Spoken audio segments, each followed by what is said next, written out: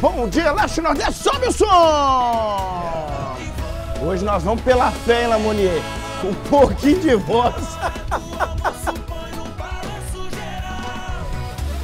A partir de agora, Jequitinhonha, Mucuri, Vale do Aço Vale do Rio Doce. É destaque aqui na telinha. Olha como é que tá a voz do apresentador, Lamonier. Não, pensa na friagem que eu peguei.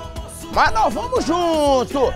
Nós vamos junto misturado. Não me abandone, vem comigo. O BG de quinta-feira, dia 30 de junho, último dia do ano, já está no ar com imagens ao vivaço.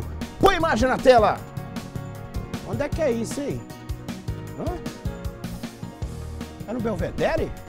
Belvedere aí, ó. Belvedere, um pedaço de Baixo São Pedro. Aí, atenção no serviço, apresentador. É, hoje eu tô lascado, viu, Vai fazer o um balanço. É, duas horas de balanço aqui.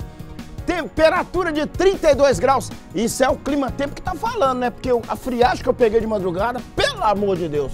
Olha o que fez na minha voz aqui. Dia de sol com algumas nuvens, sem previsão de chuva.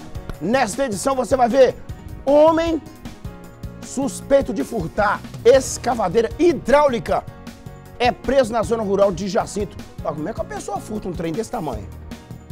Hã? Motociclista morre ao bater contra cavalo na rodovia Ipaba. Constantemente tem isso, né? Pela segunda vez em junho, carro cai dentro do rio Todos os Santos em Teoflotone. De novo? Ué, caminhoneiro é flagrado pela PRF dirigindo por 29 horas seguidas. Foi na 116 em Itaubim. Aí não pode, né? Tem que parar para descanso. E as notícias não param por aí. Tem a sua participação no WhatsApp desejando boa jornada para nós hoje, né?